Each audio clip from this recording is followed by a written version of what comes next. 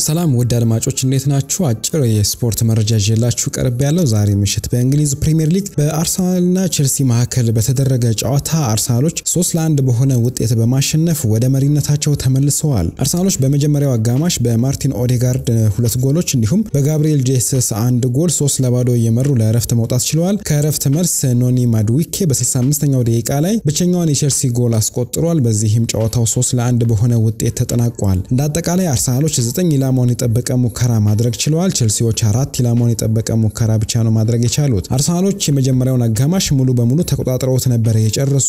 ቼልሲዎች በሁለተኛው አጋማሽ የተሻለ መንቀሳቀስ ችለዋል። ነገር ግን አንድ ጎል ከማስቆጠር ውጪ ውጤታማ መሆን አልቻሉም። በአጠቃላይ አርሰናሎች ሶስት ለአንድ በሆነ ውጤት በማሸነፍ አሁን ወደ ፕሪምየር ሊግ መሪነታቸው ተመልሰዋል። ከማንቸስተር ሲቲ ሁለት የተሻለ ጨዋታ ተጫውተዋል። ቢሆንም ግን አሁን በ78 ነጥብ መምራት ጀምረዋል። ማንቸስተር ሲቲ በነገ ዕለት ጨዋታውን የሚያደርግ ይሆናል። አርሰናሎች አሁን በ78 ነጥብ ሊጉን በመምራት ላይ ይገኛሉ። እንደ አጠቃላይ ከአርሰናልና ቼልሲ ጋር ከአርሰናልና በተያያዘ ያለውን ጨዋታ ስንመለከት ፍራንክ ላምፓርድ ታዲያ አሁንም ውጤት እየራቀው ይገኛል።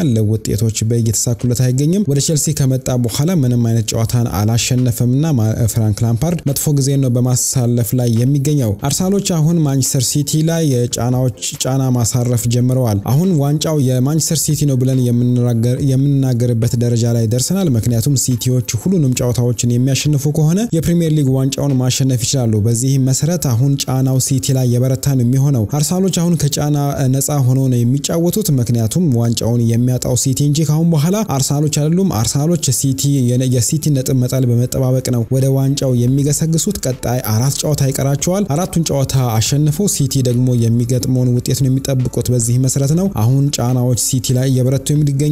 ማርቲን ኦዴጋርድ ዛሬም ለአርሰናል ምርጥ ሆኖ ነው ያመሸው። ሁለት ጎሎችን ማስቆጠር ችሏል። በ18ኛ እና በ31ኛው ደቂቃ ላይ ነው ሁለቱን ጎሎች ያስቆጠረው። ሁለቱንም ኳሶች ታዲያ አመቻችቶ ያቀበለው ግራኒት ዣካ ነው።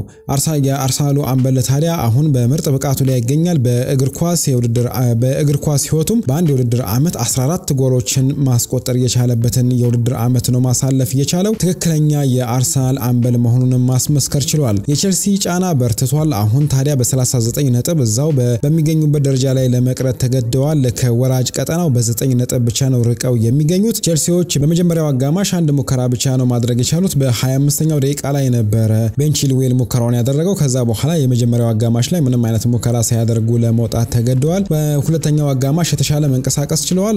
በርካታ ሙከራዎችን ማድረግ ችለዋል። አንድ ጎል አስቆጥሯል። ነገር ግን ውጤታማ መሆን አልቻሉም። ቼልሲዎች በርካታ ተጫዋቾችን በክረምቶ እንዲሁም በጥር የዝውውር መስኮት ያስፈረሙ ቢሆንም እነዚህ ፈራማዮች ታዲያ ለቼልሲ ምንም እየፈየዱ አይገኙም። በእርግጥ ዛሬ አንዷን ጎል ያስቆጠረው በጥር የዝውውር መስኮት የፈረመው ኖኒ ማድዊኬ ቢሆንም በርካታ ተጫዋቾችን በርካታ ገንዘቦችን በማፍሰስ ያስፈረሙት ቼልሲዎች ከገዟቸው ተጫዋቾች ብዙም ሊጠቀሙ አልቻሉም። በተለይ የቀድሞ የአርሰናል ተጫዋች የሆነው ፒየር ኤምሪክ ኦባሚያንግ እረፍት ላይ ተቀይሮ ለመውጣት ተገዷል። ራሂም ስተርሊንግም ብዙም ሜዳ ላይ ሲንቀሳቀስ አልታየም። እንደውም ዛሬ ማርቲን ኦዴጋርድ ላስቆጠራቸው ሁለት ጎሎች ራሂም ስተርሊንግ ተጠያቂ የሚሆንበት አጋጣሚ ሰፊ ነው። ሚኬል አርቴታ በዛሬው ዕለት አሰላለፉን ቀይሮ ነበር የገባው ወይም ደግሞ ቋሚ አሰላለፎቹን ቀይሮ ነበረ ወደ ሜዳ የገባውና በዚህም ተሳክቶለታል። ጆርጂኒዮ በቶማስ ፓርቴ፣ ጃኮብ ኪቪዮር በሮብ ሆልዲንግ እንዲሁም ሊያንድሮ ትሮሳርድ በጋብሪኤል ማርቲኔሊ ተቀይረው ወደ ሜዳ የገቡ ተጫዋቾች ናቸው። ሶስቱም ተጫዋቾች ታዲያ ዛሬ ለአርሰናል ምርጥ ሆኖ ነው ያመሹት። ጆርጂኒዮ እና ሊያንድሮ ትሮሳርድ ተቀይሮ እስከወጡበት ሰዓት እንዲሁም ጃኮብ ኪቪዮር እስከ መጨረሻው ደቂቃ ለአርሰናል ምርጥ በመሆን አምሽተዋል። በአጠቃላይ አርሰናሎች የዛሬውን ጨዋታ ሶስት ለአንድ በሆነ ውጤት በማሸነፍ ወደ መሪነታቸው ተመልሰዋል። የተመዘገቡትን እስቲ አንዳንድ እውነታዎች እንመልከት። በዘንድሮ የውድድር ዓመት ብራዚላውያን ተጫዋቾች 82 ጎሎችን ማስቆጠር ችለዋል። በእንግሊዝ ፕሪምየር ሊግ ታሪክም ብራዚላውያን ተጫዋቾች በርካታ ጎሎችን ያስቆጠሩት በዘንድሮ የውድድር ዓመት ነው። ከዚህም በፊት በ2021 2022 የውድድር ዓመት 81 ጎልን ማስቆጠር ችለው ነበረ። በ2019 2020 71 ጎሎችን አስቆጥሯል። ከዛ በፊት በ2018 19 64 ጎሎችን ማስቆጠር ችለው ነበረ። ዘንድሮ ታዲያ አዲስ ሪከርድ ነው ማስመዝገብ የቻሉት 82 ጎሎችን ብራዚላውያን ተጫዋቾች ማስቆጠር ችለዋል። በቀጣይ ቀሪ ጨዋታዎች ስለሚኖሩ ከዚህ በላይ ጎሎች ሊቆጠሩ እንደሚችሉ መገመት ይቻላል። አሰልጣኝ ፍራንክ ላምፓርድ ያለፉትን አስር ጨዋታዎች በአጠቃላይ ተሸንፏል። እንግሊዛዊ አሰልጣኝ ሆኖ አስር ጨዋታዎችን በተከታታይ የተሸነፈ ሁለተኛው አሰልጣኝ መሆን ችሏል። አንደኛው አሰልጣኝ በ1988 ነበረ አርቱር ኮክስ የተሰኘ አሰልጣኝ የደርቢ አሰልጣኝ በነበረበት ጊዜ አስር ጨዋታዎችን በተከታታይ የተሸነፈው። አሁን ታዲያ ፍራንክ ላምፓርድ ያንን ታሪክ ደግሞታል።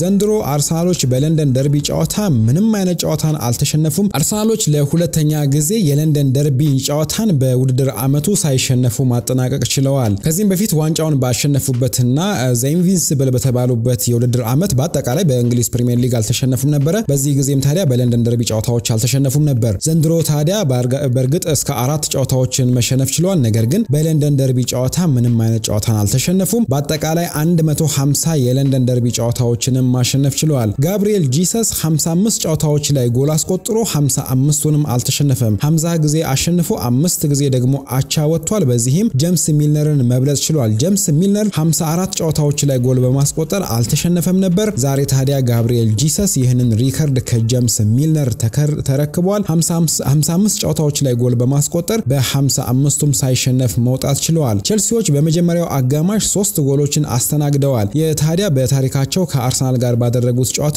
ለሁለተኛ ጊዜ ነው በመጀመሪያው አጋማሽ ሶስት ጎልን ሲያስተናግዱ። በ2016ም እንዲሁ ከአርሰናል ጋር የተጫወቱ በመጀመሪያው አጋማሽ 16 ጎሎችን አስተናግደው ነበር። ማርቲን ኦዴጋርድ እስካሁን በፕሪሚየር ሊጉ 14 ጎሎችን ማስቆጠር ችሏል። ይህ ታዲያ ለተጫዋቹ ምርጥ የሚባል የውድድር ዓመት ነው። በአንድ የውድድር ዓመት ይህን ያህል ጎል አስቆጥሮ አያውቅም። ለአርሰናል የአማካይ ስፍራ ተጫዋች ሆኖ ከማርቲን ኦዴጋርድ በላይ ጎል ማስቆጠር የቻለው ሌላኛው አማካይ ተጫዋች ፍራንሲስክ ፋብሬጋስ ነበረ። በ2009-2010 የውድድር ዓመት ሴስክ ፋብሬጋስ 15 ጎሎችን ማስቆጠር ችሎ ነበር። አሁን ታዲያ ማርቲን ኦዴጋርድ አንድ ጎል ብቻ ነው የሚቀረው ፍራንሲስክ ፋብሬጋስን ለመስተካከል። በአንድ የውድድር ዓመት ለአርሰናል እየተጫወቱ 20 ጎል ላይ መሳተፍ የቻሉ ሶስት ተጫዋቾች ዛሬ ተገኝተዋል ማለት ነው። ማርቲን ኦዴጋርድ እነዚህን ተጫዋቾች ዛሬ ተቀላቅሏል። በአጠቃላይ ማርቲን ኦዴጋርድ assist ካደረገው ጋር 20 ጎሎች እየደረሰ ሲሆን ቡካዮ ሳካ በ24 እንዲሁም ጋብሪኤል ማርቲኔሊ በ20 ጎል ሶስቱ ተጫዋቾች 20 ጎል ላይ መሳተፍ ችለዋል ማለት ነው። ዘንድሮ ታዲያ በፕሪሚየር ሊጉ ሶስት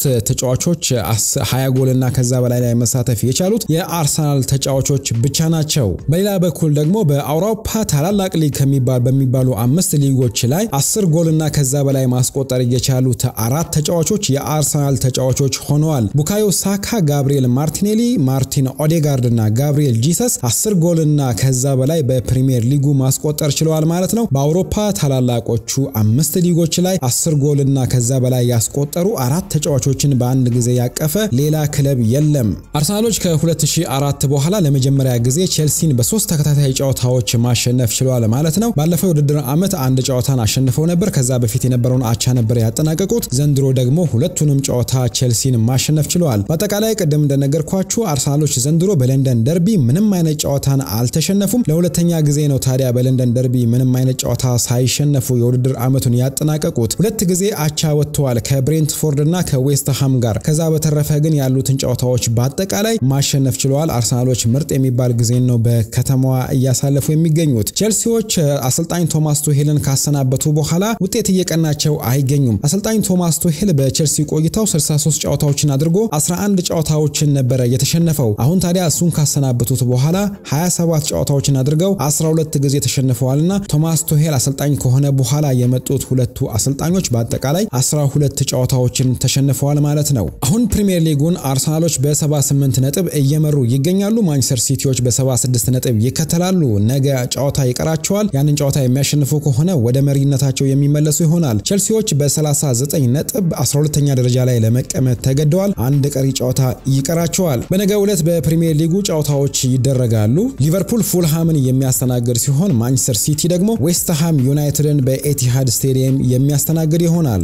ሌሎች ዛሬ የተመዘገቡትን ውጤት ስንመለከት በስፔን ላሊጋ ሶስት ጨዋታዎች ተደርገው ነበረ። አልሜሪያ ኤልቼን ሁለት ለአንድ በሆነ ውጤት አሸንፏል። ባርሴሎናም ተቸግሮ ኦሳሱናን አንድ ለባዶ በሆነ ውጤት አሸንፈዋል። ኦሳሱናዎች በአስር ተጫዋች ብቻ ነበረ ከ27ኛው ደቂቃ በኋላ ለመጫወት የተገደዱት። ነገር ግን የግብ ክልላቸውን ሳያስደፍሩ እስከ 85ኛው ደቂቃ ለመቆየት ችለው ነበር። በ85ኛው ደቂቃ ላይ ግን ጆርዲ አልባ የባርሴሎናን የማሸነፊያ ጎል ማስቆጠር ችሏል። ባርሴሎናዎች ታዲያ አሁን ወደ ዋንጫው እየቀረቡ ይገኛሉ። ምክንያቱም ሌላኛው ተቀናቃኛቸው ሪያል ማድሪድ በሪያል ሶሴዳድ ሁለት ለባዶ በሆነ ውጤት ተሸንፈዋል። ዳኒ ካርቫሃል በሁለት ቢጫ ካርድ ከሜዳ የተሰናበተ ሲሆን ለሪያል ሶሴዳድ በ47ኛው ደቂቃ ላይ ታኬ እንዲሁም በ85ኛው ደቂቃ ላይ ባሬንሲያ ነው ሁለቱን ጎሎች ያስቆጠሩትና ሁለት ለባዶ በሆነ ውጤት ማሸነፍ ችለዋል። ባርሴሎናዎች አሁን በ82 ነጥብ እየመሩ ይገኛሉ። አምስት ጨዋታዎች በፕሪሚየር ሊግ በላሊጋው ይቀራሉ። ሪያል ማድሪድ በ68 ነጥብ ይከተላል ይከተላል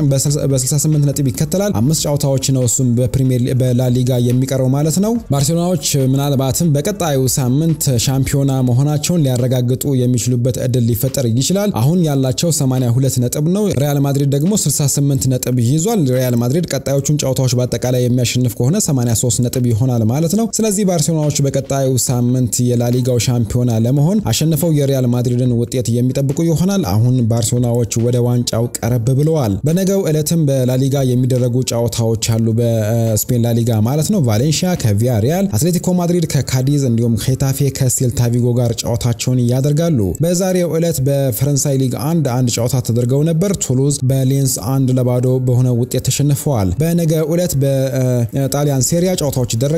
አታላንታ ከስፔጂያ፣ ጁቬንቱስ ከሊቼ፣ ሳለርኒታና ከፊዮረንቲና፣ ሳምፒዶሪያ ከቶሪኖ፣ ኤሲ ሚላን ከክሮሞኔስ፣ ላዚዮ ከሳሱሎ፣ ሞንዛ ከሮማ እንዲሁም ቬሮና ከኢንተር ሚላን ጋር ጨዋታቸውን የሚያደርጉ ይሆናል። በፈረንሳይ ሊግ አንድ ብሮስት ከኖንስ ጋር ጨዋታቸውን ያደርጋሉ። አድማጮች ለዛሬ ምሽት ያቀረብኩላችሁን አጫጭር መረጃዎች በዚሁ አጠናቅቄያለው። በቀጣይ በሌላ ፕሮግራም እስክንገናኝ ደህና ቆዩ።